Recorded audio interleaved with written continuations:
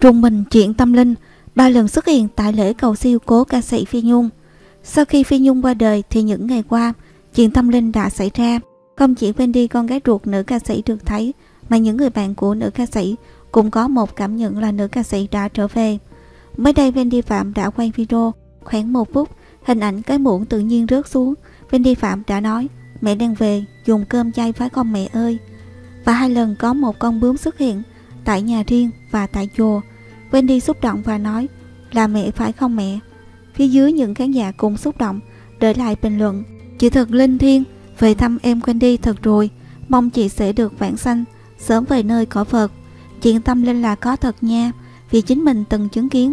Sau đó, mình tín ngưỡng Phật giáo và bắt đầu đi chùa niệm Phật, nghe giảng Pháp. Trang Khàng chia sẻ chuyện tâm linh trong lễ cầu siêu của Phi Nhung. Ai nấy nghe xong phải rùng mình. Vào ngày 28 tháng 9, thông tin nữ ca sĩ Phi Nhung đã qua đời sau thời gian dài điều trị Covid-19 khiến dư luận không khỏi bàng hoàng. Vào ngày 30 tháng 9, những người thân cố nghệ sĩ đã tổ chức lễ cầu siêu tại Tư Gia.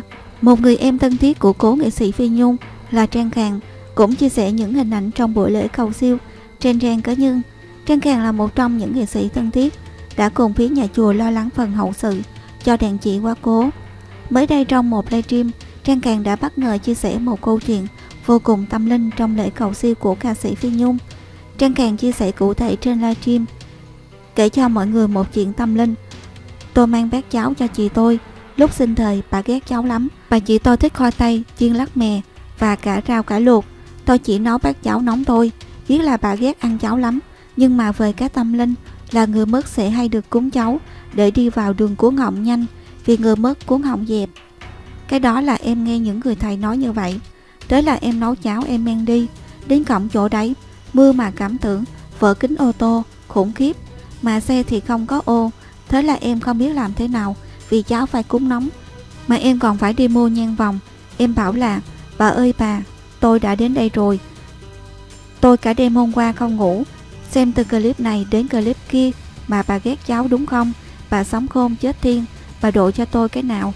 Và xin ông trời cho tôi, Xin tắt mưa cái nào, cho tôi đi vô không là ướt hết. Một phát thôi, Hết mưa luôn. Vừa mới khấn xong là 30 giây sau hết mưa. Thế là gặp chú bảo vệ, Năn nỉ bảo cúng.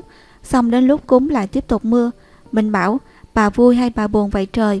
Vui buồn thì cũng chịu giờ, Chỉ có nhiêu đây. Tắp nhang xong ngồi chờ hạ nhang. Mai cúng 3 ngày, mà em không biết, Nấu đồ chay nên đã thuê người.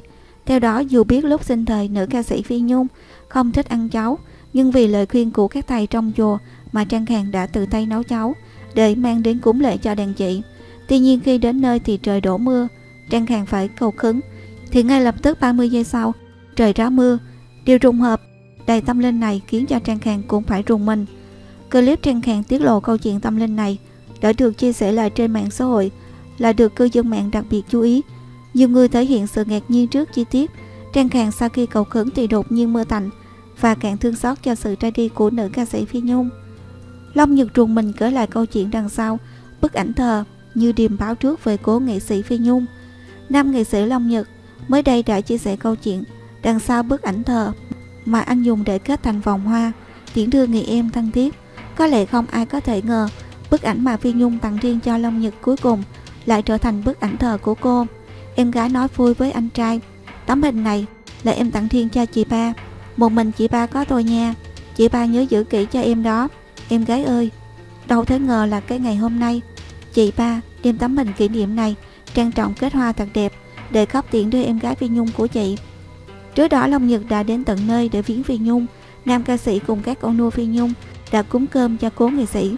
Với lòng xót thương vô hạn, cả một trời kỷ niệm, tất cả những người thương yêu em và được em thương yêu. Luôn nhớ về nụ cười xinh đẹp, giọng hát thật đặc biệt của em. Bình an đi vào giấc ngủ ngàn thu em gái nhé. Sẽ không còn những đau đớn, những bồn bề lo lắng nữa Long Nhật ngậm ngùi tiễn biệt Phi Nhung